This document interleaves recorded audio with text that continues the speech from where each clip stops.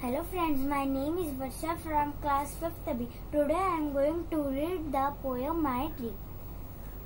O tree so big and stout and strong, you have lived so very very long.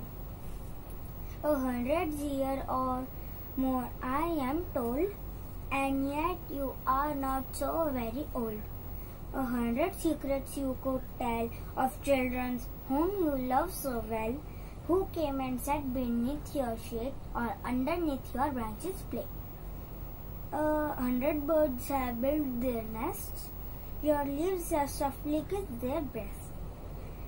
Your branches seem to touch the sky, yet you were once as small as I. Someday when I have grown up too, I am coming back to visit you. And strange though other things will be, I will find the same dear friendly tree. The poet is Garnet Angle. Thank you.